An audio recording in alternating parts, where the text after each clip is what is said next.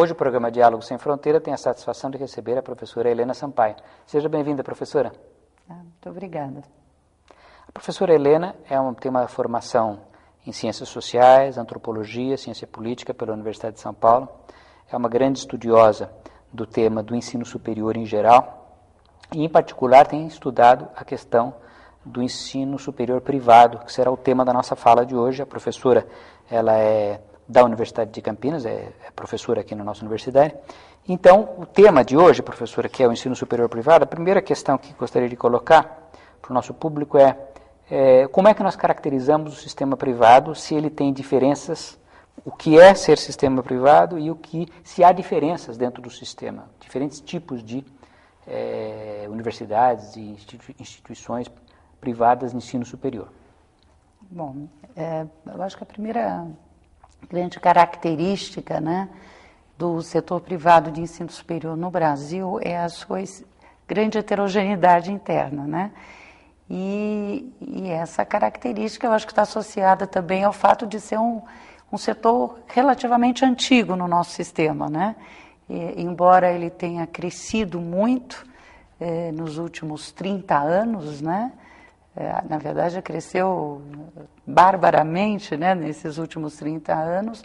Ele, ele, é um, ele é um setor bastante antigo dentro do sistema de ensino superior brasileiro. Né? Então, as, as primeiras instituições, elas ainda né, datam do século XIX e, e final do século XIX, e, e ele tem é, um crescimento até os anos 40, 50, é, ele ocupa uma posição de 30%, 40% das matrículas em ensino superior. Então, sempre teve um, um, um papel importante né, na, na, formação.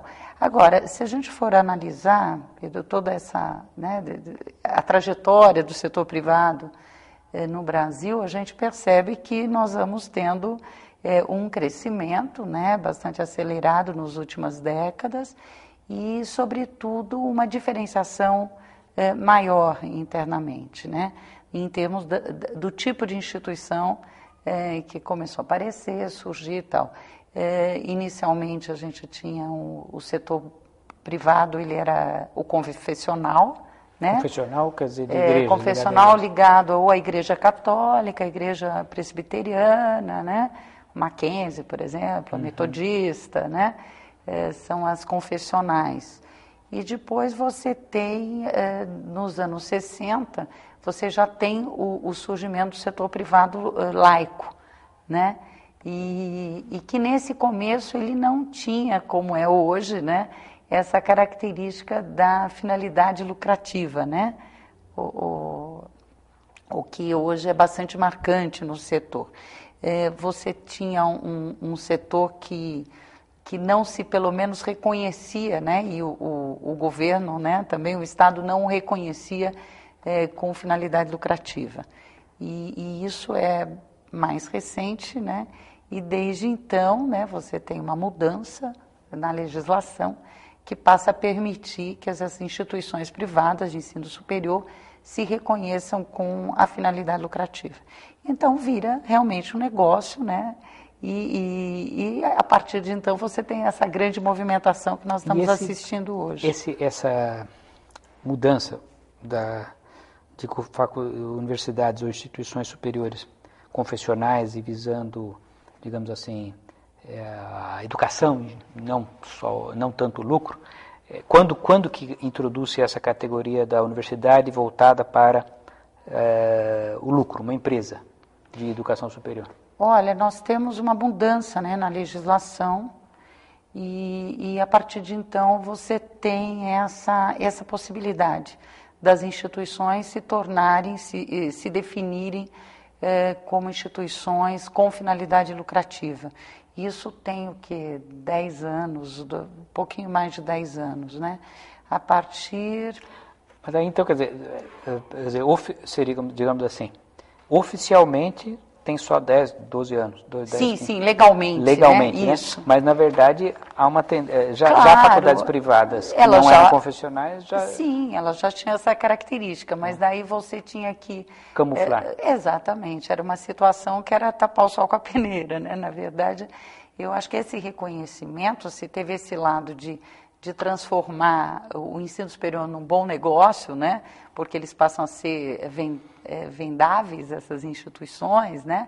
elas podem... Agir na legalidade. Agir na legalidade, é, por outro lado, seria uma grande farsa não admitir que essas instituições é, tinham, sempre tiveram finalidade lucrativa. Elas eram organizações, às vezes, familiares uhum. e, obviamente, geravam lucro. Você empregava né, pessoas da própria família é, como é, funcionários, administradores ali da, da, da, empresa, que não era empresa, né, da, da, da mantenedora, e, e o, o, recurso você tinha que aplicar na própria instituição.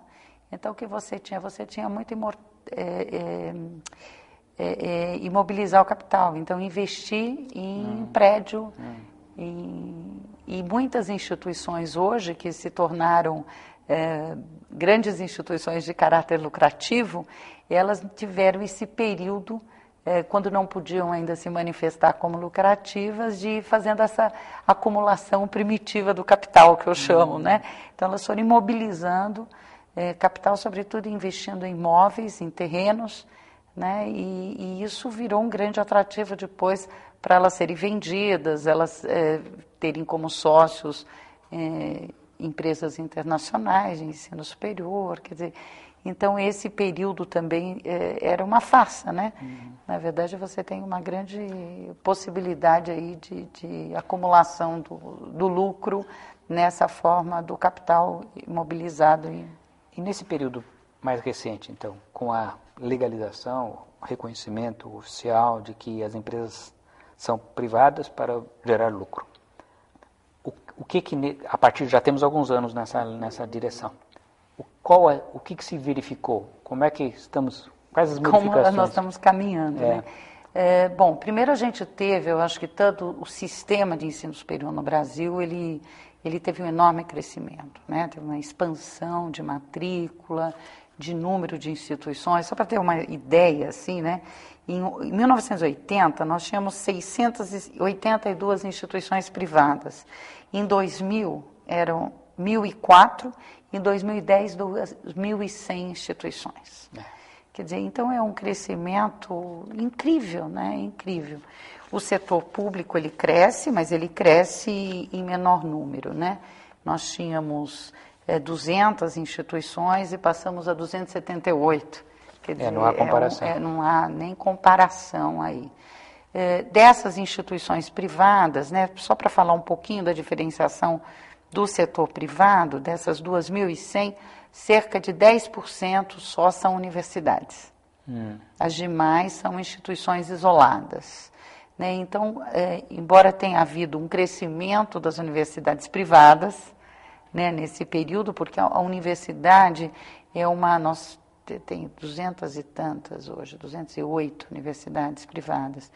É uma forma que elas têm maior autonomia de abrir e fechar curso, abrir, diminuir o número de vagas conforme a, a, a demanda de mercado e tal, mas mesmo assim as instituições, as universidades, elas ainda são né, minoria dentro desse setor privado, né? O que a gente, o que predomina são as faculdades, as faculdades isoladas, né, os centros universitários que também gozam de autonomia, né, garantido pela pela lei de diretrizes e base, e então eles também têm essa modalidade de, de escolha de centros universitários. Agora, isso é a forma como a gente organiza as instituições do ponto de vista é, da, da estrutura organizacional, né? Agora, o que a gente tem de diferenciação também são as formas de governança, né? Como é que está o capital aí, né? Hoje nós temos algumas instituições, são conhecidas, grandes instituições que estão com capital aberto na Bolsa de Valores, né? Fizeram um IPO, né? É, outras, e daí, obviamente, quando tem o um capital aberto, você tem também é, investidores estrangeiros, né? Capital internacional. Outras você tem, é, são franquias, né? É, que já atuam aqui no Brasil de outras empresas internacionais.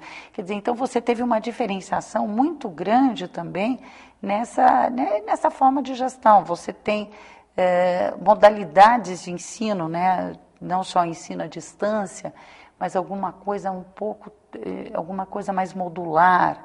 Então, tem algumas instituições grandes que elas atuam no Brasil todo. Aí ah, você tem também já uma divisão do mercado eh, brasileiro em termos de região, né? Hum. Então, algumas instituições estão mais centradas no centro-oeste, norte. Ah, uma especialização também geográfica. Você divide o mercado, né? Que nem a Pepsi Cola e a Coca-Cola, né? Assim, um pouco essa divisão. Então, eh, Agora, tem coisa nova aparecendo, né, em termos desses cursos modulares. É um ensino, obviamente, de massa.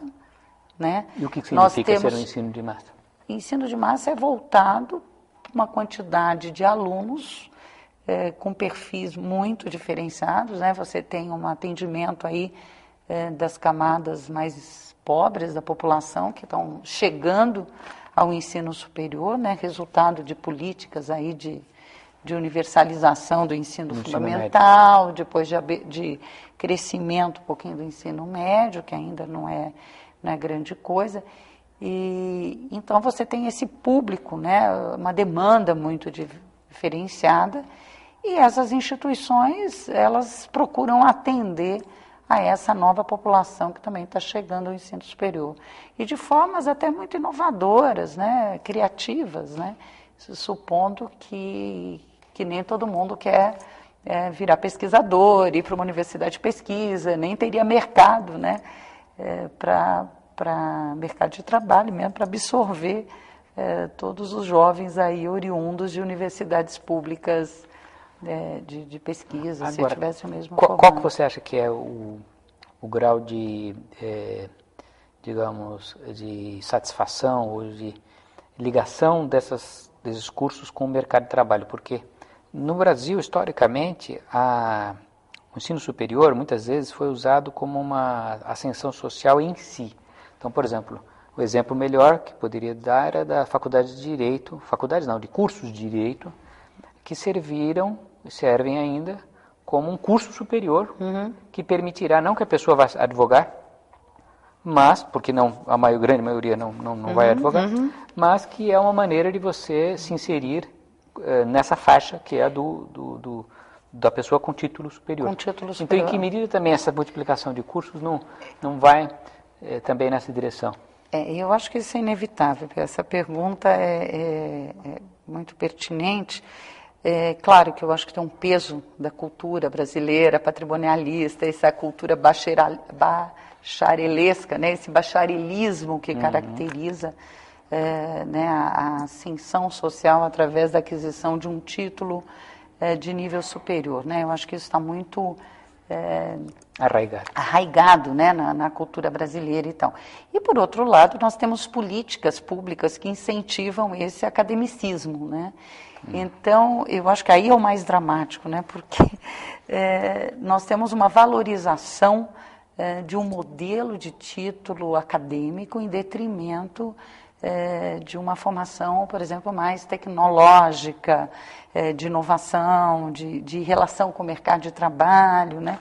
E a gente percebe isso, né, nas próprias é, né, medidas aí do, do, do MEC, as normatizações, que sempre tende a enquadrar os cursos, os mais diferentes cursos, nas mais diferentes instituições, para os mais diferentes públicos, dentro do modelo de ensino superior que é absolutamente acadêmico, né, academicista.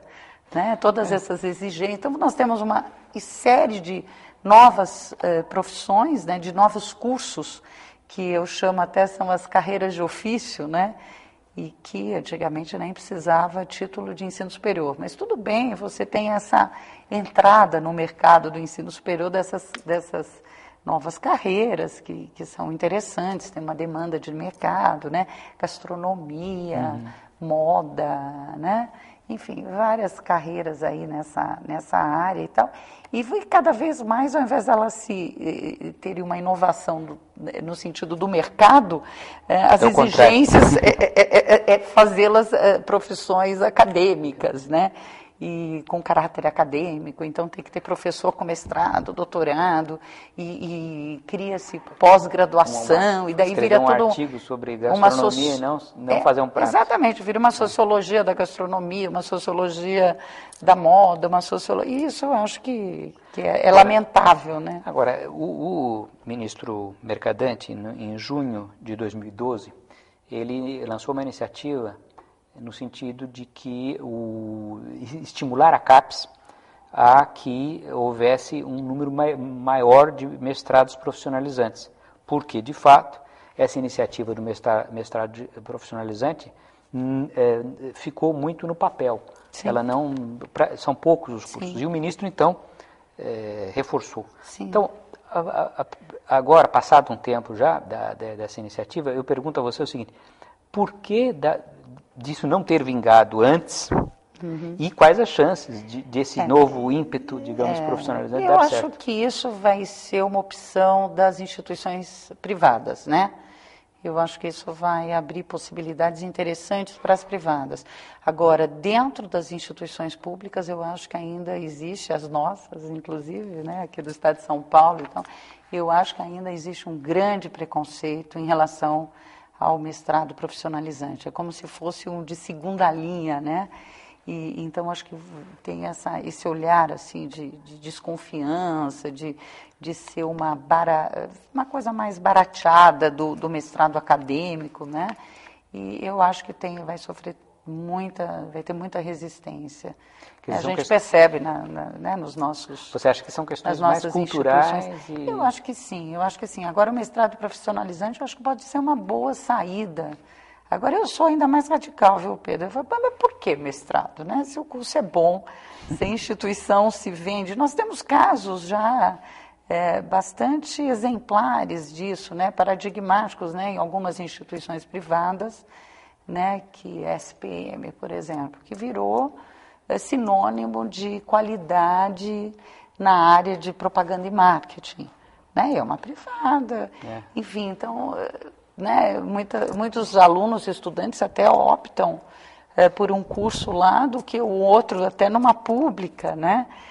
Enfim. Então... Mas é então porque justamente me parece que é, essa, por exemplo, o mestrado profissionalizante, ele provavelmente aqui tem uma função de por que o título de mestrado? Porque também certas remunerações, certas Sim, privilégios, certas coisas vão estar atreladas a que a pessoa tenha o tal, o diploma, tal do mestrado é, profissionalizante. E não uma né? especialização pois ou qualquer é, outro título. De repente, uma especialização é. ela pode ser muito mais bem-vinda é. para o mercado de trabalho, né? Do que, um, que, que, que, provavelmente até ignora o que seria um mestrado. Um mestrado, né? É. Eu acho que e, e eu acho que a gente sempre tende a olhar muito o, o sistema de ensino superior sem atentar para a diversidade do sistema, as diversidades regionais, o público diversificado que está lá, né? E às vezes a gente olha muito como se fosse o espelho de nós mesmos, né?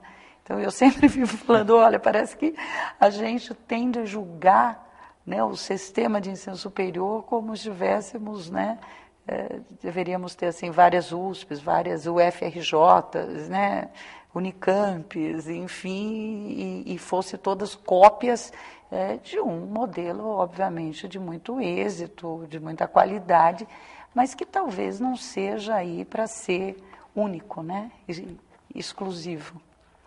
É, eu acho que essa sua observação é muito importante porque mostra que a diversidade do sistema também é importante. É um claro. valor em si, é um, algo que responde a uma, uma necessidade social. É, mas grande. essa diversidade, ela é muitas vezes, inclusive pelos formuladores de políticas públicas, né, como desvio, né? Hum.